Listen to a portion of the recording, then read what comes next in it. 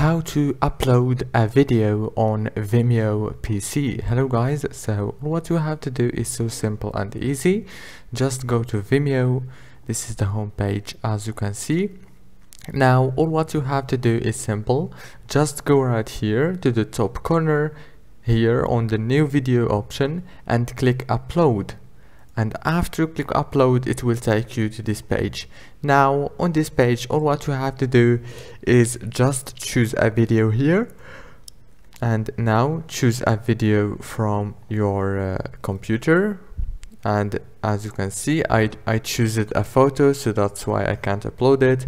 But you have just to upload and uh, upload a video and everything is gonna be okay with you if this video was helpful, please don't forget to like and subscribe and thank you so much for watching until the end.